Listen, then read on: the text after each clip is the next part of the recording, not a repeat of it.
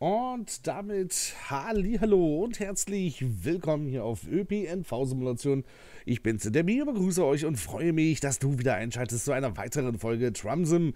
Ja, wir sind hier mal ohne VR unterwegs. Ja, das war mal nur so ein kleines Testvideo, um einfach mal zu gucken, wie das Ganze halt ausschaut in VR. Und äh, ja, noch gefragt wurde im Livestream, können wir nicht mal, mal bei Nacht fahren? Und das wollen wir heute hier tun. Und diesmal nun wirklich hier vom Praterplatz Richtung Stefan-Fahlinger Platz. Wir werden die Linie natürlich hier nicht zu Ende fahren, aber jetzt passt zumindest schon mal die Richtung, nicht so wie in der letzten Folge. Das ist mir dann aufgefallen, wo ich mir das Video nochmal angeguckt hatte, dass das Ganze wunderbar funktioniert hat.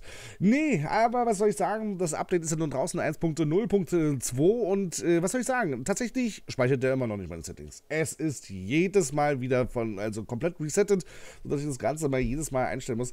Und das Leute, ist mega nervig irgendwann, ja, wenn du das jedes Mal wieder einstellen musst. Äh, mir fällt übrigens gerade ein, ich sollte mal gucken, dass ich hier meinen ähm, Fahrplan hier hole. So bestätigen wir das Ganze mal. Und bitte Uhrzeit, Uhrzeit, ja, das, das ist auch okay. Den gibt mir auch keine Uhrzeit. Dankeschön. Wenn wir das Ganze mal hier schon mal vorspulen. Und äh, ja, dementsprechend ähm, speichert er das Ganze nicht und ich muss das halt jedes Mal immer noch einstellen. Also das hat leider nicht so ganz funktioniert, äh, wie sich das überhaupt so vorgestellt hatte, aber naja, es kann ja nicht immer alles gleich beim ersten Mal funktionieren. Ne? Da muss man halt auch immer ein bisschen äh, Realist bleiben. Und dementsprechend, ja, ist es halt so, wie es jetzt aktuell ist. So, wir werden mal die Türen schließen. Und äh, werden wir schon mal hier unsere Fahrgäste hier abholen. Ich habe nämlich gerade schon aufgenommen und dachte mir so, mein Gott, was ruckelt das denn so? Ja, bis mir dann wieder eingefallen ist, natürlich.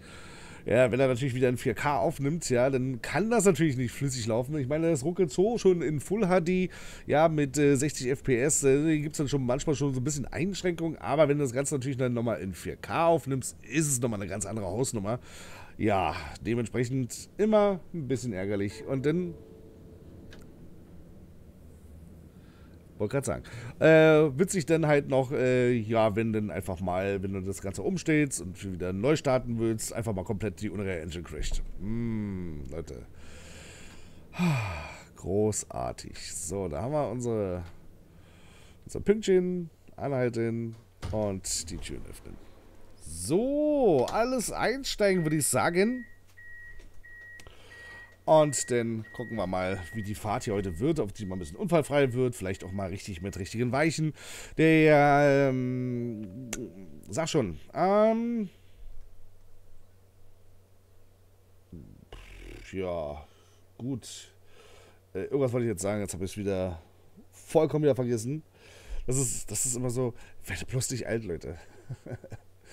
werde bloß nicht alt. Ähm, nee, auf jeden Fall, ja, wie gesagt, hoffe ich natürlich, dass das hier heute äh, soweit funktioniert, dass wir vielleicht auch mal so, so, ein bisschen mit einem heilen Stück irgendwie mal ankommen irgendwo. Ja, dass wir uns hier jetzt nicht irgendwie die Weichen hier falsch legen oder sowas. Ähm, dem, dem Willi ist halt aufgefallen, dass ich ja das Ganze hier immer mit der Maus mache. Er meinte irgendwie, ich bin aber irgendwie ja, auf den Weichensteller rangekommen. Ich glaube, das ist ja hier der Weichensteller, ne? Hier diese drei Tasten hier. Äh, Gehe ich mal stark davon aus, dass die das sind. Ja, die, die hier die zum Beispiel die Weichen stellen. Ja, aber äh, eigentlich habe ich immer hier unten gedrückt. Weiß jetzt nicht, wo da jetzt der Fehler war. Dann können wir schon mal auf 50 äh, schalten. Ähm, ich werde das Ganze jetzt halt mit den Numpad-Tasten machen und dann sollte das Ganze auch dementsprechend passen. So, wir werden jetzt aber nochmal kurz die Uhrzeit nochmal hier vorspulen, denn das dauert mir hier ein bisschen zu lange. Also irgendwie ist das hier ein bisschen tricky alles. So. Okay. Jetzt haben wir das wieder. Können wir die Türen schließen und losfahren. Bei Nacht. Wie gesagt, wurde sich gewünscht bei uns im Livestream, ob wir das äh, Ganze mal im Livestream machen. Ich fand es halt besser, wenn man das Ganze mal so ein bisschen im Let's Play macht. Dann hat man auch noch ein bisschen was zu zeigen halt. Oh, das klingt so episch, wenn die darüber fährt. Ja, hier ist eigentlich nur 20 in der Kurve. Ich weiß gar nicht warum. Wittelsbachstraße. Wittelsbachstraße. Ja, wie ihr auch gesehen habt, ne, gestern kam dann auch endlich denn mal Omsi Wien. Ja, also falls ihr euch so für das Omsi-Addon äh, ja, interessiert, so für das Omsi Wien-Addon, was natürlich auch schon mega alt ist, könnt ihr da auch gerne mal vorbeilinsen. War sehr, sehr lange her, dass ich das ganze Stück mal gefahren bin wieder. haben wir hier eigentlich praktisch hier so eine kleine Wien-Woche hier vor uns. Denn morgen kommt nämlich schon die nächste Tour. Ja, aber dann war es auch schon wieder mit Wien. Und das ist natürlich eine Preistechnik. Ja, aber gut, das ist jetzt sie. Äh, könnt ihr euch da auslassen. Jetzt sind wir hier in Dramsim. Und was soll ich sagen? Es gab jetzt auch schon den ersten Death Diary, ja, der so ein bisschen ähm, über die nächsten Updates ja, so ein bisschen gesprochen hat. Äh, man hat die erste neue Straßenbahn vorgestellt, die dann halt äh, mit dazukommt. Also was heißt neue Straßenbahn? Anführungsstrichen. Es ist halt äh, sehr altes Modell schon. Ja, soll aber wohl eines der absoluten Highlights sein, die damals so in Wien rumgecruised sind. Und ähm, dementsprechend baut man das Ganze jetzt ja erstmal als KI-Fahrzeug mit ein. Und dann wird das Ganze dann halt für den Spieler zugänglich gemacht, sodass ihr dann die äh, Straßenbahn dann ebenfalls äh, fahren könnt. Komplett kostenlos. Ihr müsst nichts extra bezahlen oder sowas. Und das ist eigentlich eine coole Geste von ViewApp.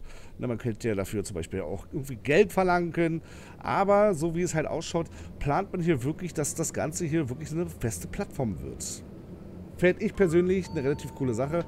Natürlich kommen schon wieder die einen oder anderen und sagen, ja, so eine, so eine Linie wäre schöner. So eine, so eine, komplette Linie halt zu bauen, ich glaube, das ist echt zeitintensiv. Ich weiß halt nicht, ja, weil das Ganze, wie gesagt, auch mit Fotofassade erstellt wird. Das geht mal nicht so eben schnell, dass du mal so, so von, von jetzt auf gleich so eine Linie machen kannst. Ich meine, kannst du auch nicht mit äh, neuen Straßenbahn oder mit neuen Fahrzeugen halt einfach mal, dass du da sagst, so, okay, komm, jetzt hier, na, jetzt wollen wir es wissen. Ähm, das wird natürlich dann dementsprechend halt auch so seine Zeit dauern halt.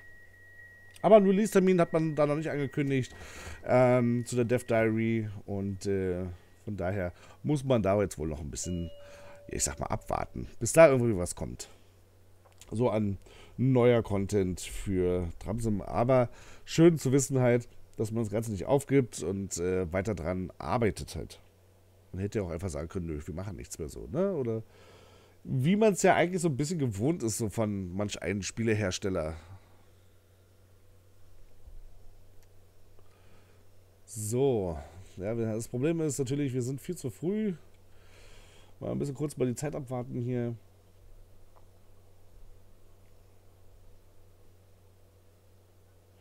Und dann können wir gleich weiterfahren. So.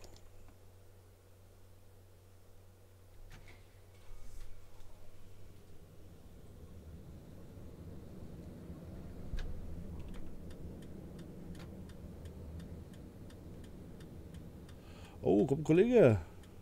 Grüß dich. Wieso hast du Fahrt und ich nicht?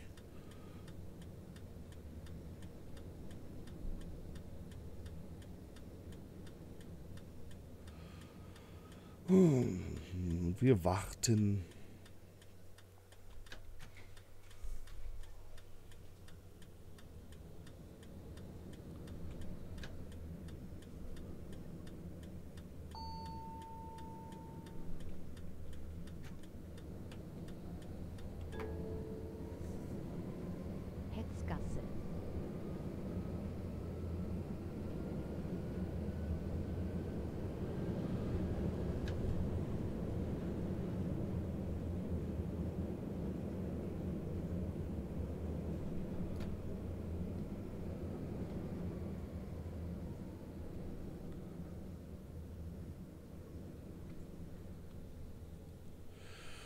So.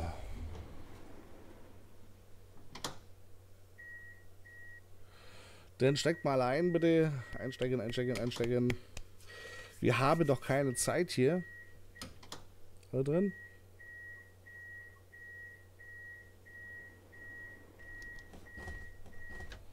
Sieht so aus.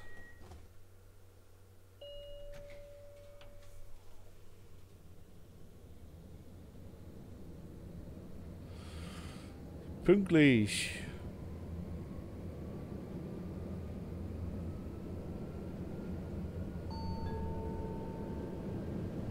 Radetzky-Platz. Umsteigen zu O. In Richtung Praterstern.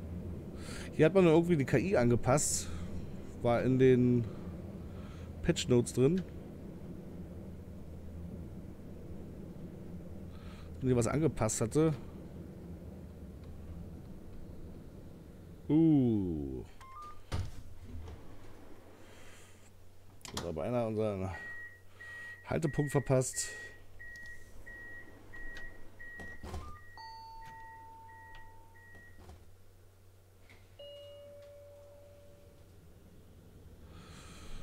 Und weiter geht's.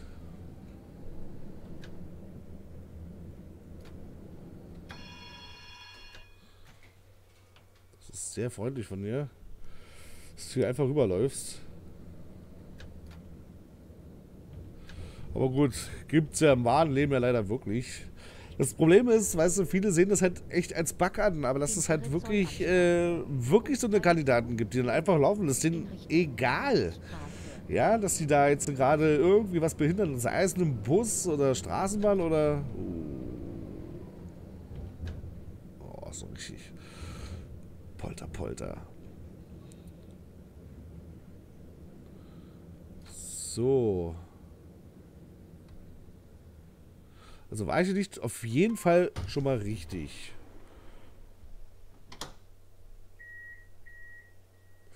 Ähm, wie gesagt, die laufen da ja trotzdem einfach rüber. Ja, das ist denen egal, ja. Das ist diese sogenannten Zombies immer, ja. Wenn sie ihre Smartphones sind, dann kriegen die ja echt gar nichts mehr mit.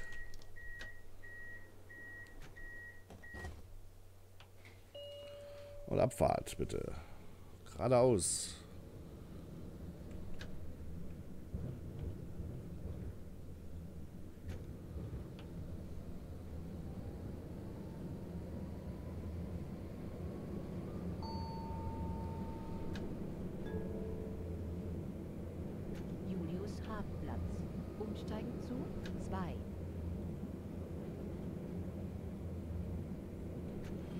So, wir uns ja nur beim letzten Mal den Zug äh, zerlegt gehabt, ne? War doch hier.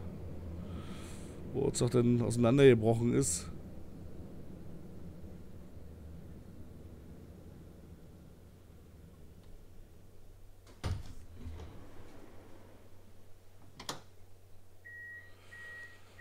So.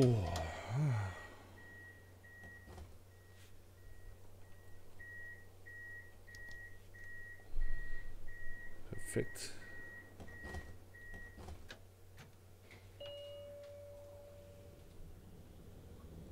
Muss schon mal Vater, dann nehmen wir die Fahrt hier noch mit. Ich war jetzt ein bisschen zu früh losgefahren. Da können wir noch nächstes Mal stehen bleiben.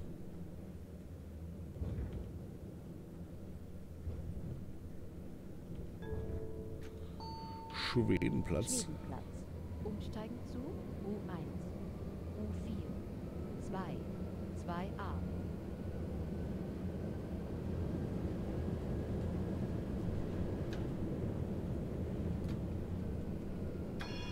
Oh. Ah ne, hier war das, oder? Ich muss hier leider mal kurz mal ein bisschen in die Knie gehen jetzt hier. Das Vorsignal kam ein bisschen zu spät, meiner Meinung nach.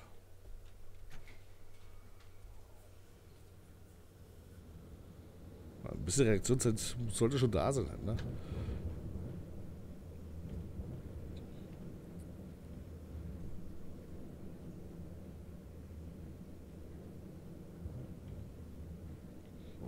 Oh, Minuten zu früh hier. Hei, hei, hei, hei, hei, hei.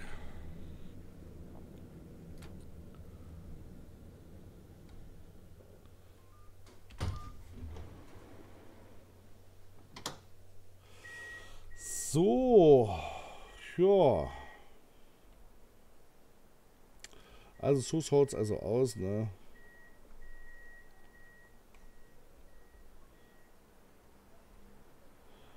Jetzt habt ihr hier, wie gesagt, Wasser drin und so, ne? Aber ich finde es von der Beleuchtung eigentlich extrem hübsch gemacht, ne? Das kann man mal wirklich mal betonen hier.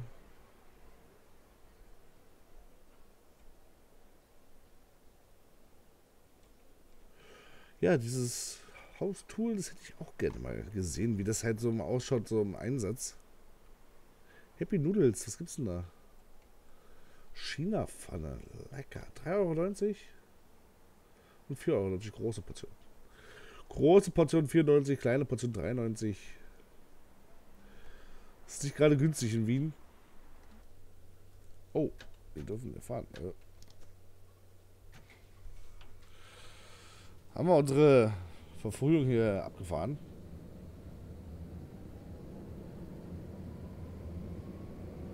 Wenn du jetzt rüberläufst, faul ich dich. Oh. Zu schnell wieder rüber hier. Salztorbrücke. Umsteigen zu 2a. Flughafenbus. Bitte seien Sie achtsam. Andere brauchen Ihren Sitzplatz vielleicht notwendiger. Connections to Airport Bus.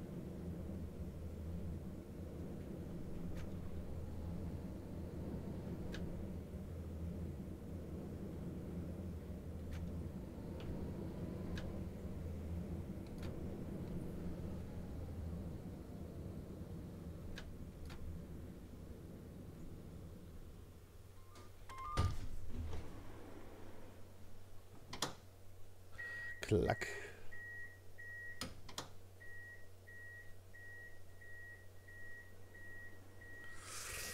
So.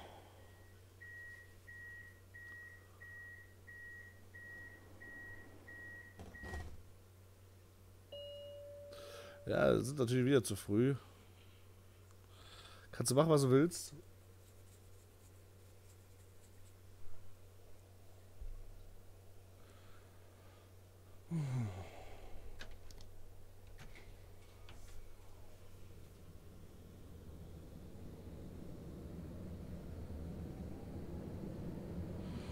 Dadurch kriegst du natürlich ein bisschen weniger Punkte. Der Kollege kommt uns entgegen. Schön. Schottenring. Umsteigen zu U2. 4. 31. 3a. Kurzer Aussetzer hier. Oh, genau.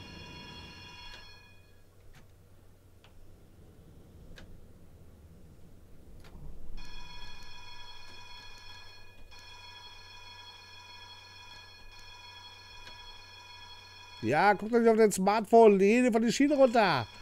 Das ist mit dir nicht in Ordnung.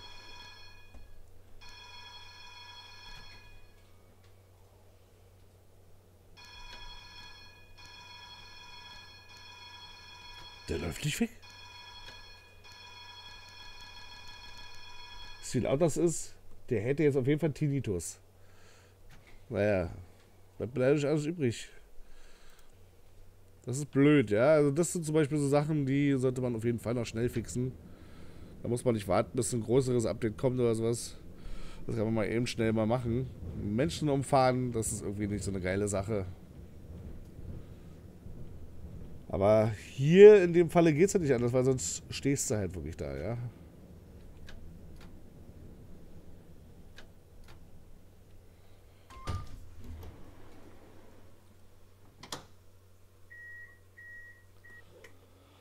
Oh. Schon wieder die ganzen Bäume halt zu so bewegen. Ne? Schatten ist wieder an und alles was. Aber das ist halt mega lästig, wenn du halt jedes Mal, wenn du das Spiel startest, halt immer wieder die Grafikeinstellung einstellen musst. Ich weiß halt nicht. Das wird bei mir nicht gespeichert. Äh, irgendwo hatte ich gehört gehabt, dass, dass es wohl irgendwie an der VR-Brille liegt oder irgendwie sowas. Ich habe keine Ahnung davon. Ich kann es mir eigentlich nicht vorstellen, dass es an der VR-Brille liegt.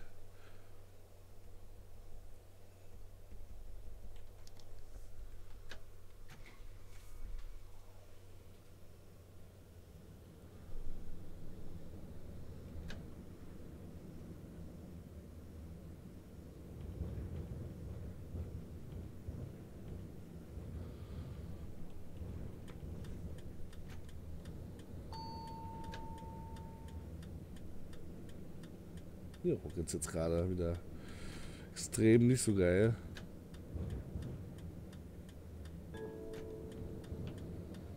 Börse. Umsteigen zu D.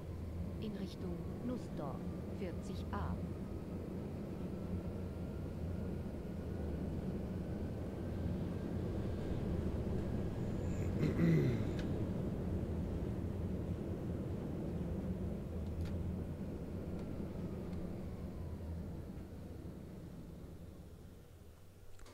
War hier eine Haltestelle?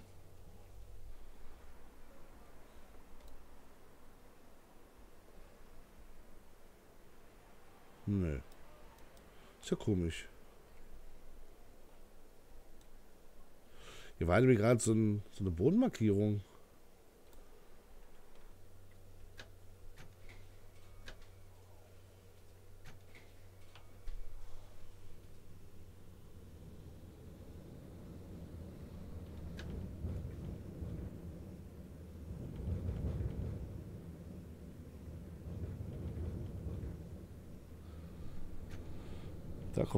Unsere Haltestelle. Ach, ja.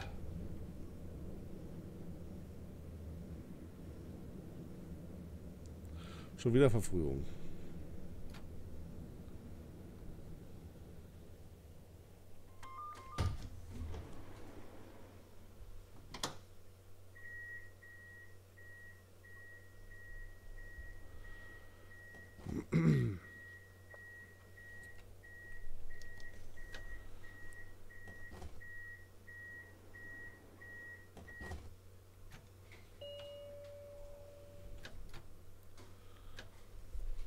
Tja.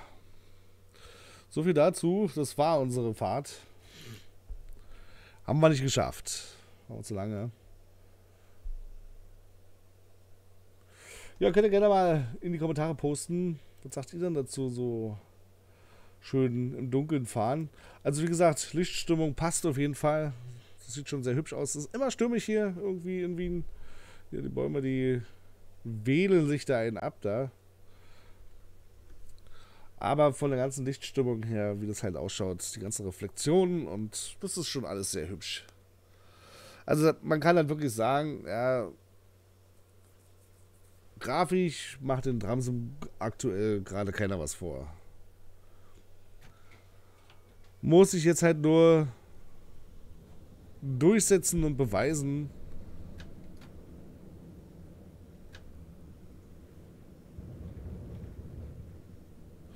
Ja, und dann muss man mal gucken.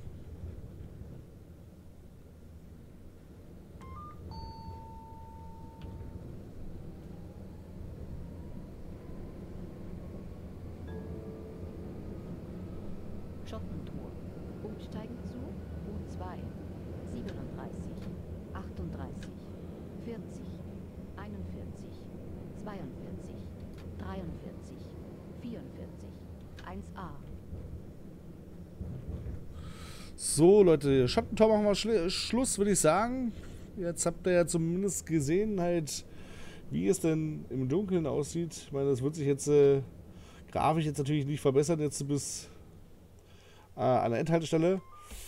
Und äh, ja, dementsprechend soll jetzt das, wie gesagt, für die heutige Folge gewesen sein.